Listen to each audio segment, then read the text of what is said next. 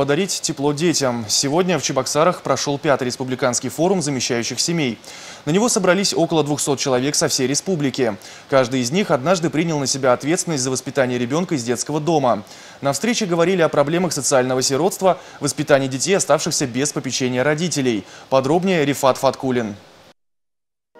Чужих детей не бывает. В этом уверены участники форума замещающих семей. Взять приемного ребенка в семейный круг – очень трудное решение. Нужно быть открытым душой и сильным духом, чтобы пробудить в маленьком человеке любовь и веру в окружающий мир. Такие родители – герои, ведь они воспитывают детей, когда-то лишенных материнской заботы. Светлана Григорьева из Канашского района готовит к взрослой жизни шестерых детей. Двое из них приемные, но для женщины они все родные, любимые.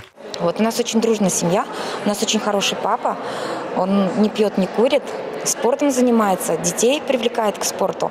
Вот у нас сейчас в планах взять детей а, под опеку, а, есть в планах, но а, такой вот интересный казус происходит.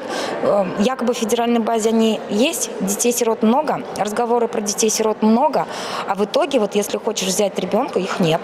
То есть детей нет. Вот у меня эта проблема меня привела сюда. Чувашия – лидер в стране по семейному устройству сирот. За пять лет число приемных семей в республике увеличилось в три раза. Сейчас их 880. Ежегодно ребята, которые остаются без попечения родителей, находят тепло и ласку у приемных мам и пап.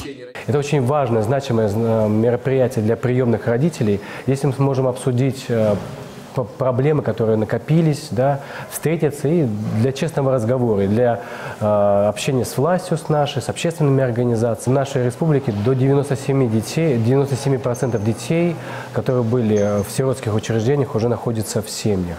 То есть э, на самом деле э, это огромная работа, огромный труд, и опять же труд матерей. За добросовестный труд по воспитанию приемных детей и большой личный вклад в дело сохранения и развития семейных традиций благодарственные письма получили многие приемные мамы. Среди них Лариса Клементьева. В 2007 году женщина, имея одну свою дочку, стала мамой еще для двух детей. Все девочки, старшей 16 лет, младшей 11. Она с гордостью называет себя мамой для всех. У нас как-то одновременно возникла мысль, но мы озвучили это уже потом а, а, где-то э, через несколько месяцев. Ну, ощущения у нас, во-первых, радостные, такие э, живые, дом такой живой, теплый, а, ну, уют как бы, полный дом э, смеха детского много. У нас уже будет 9 лет, вот в конце декабря, как у нас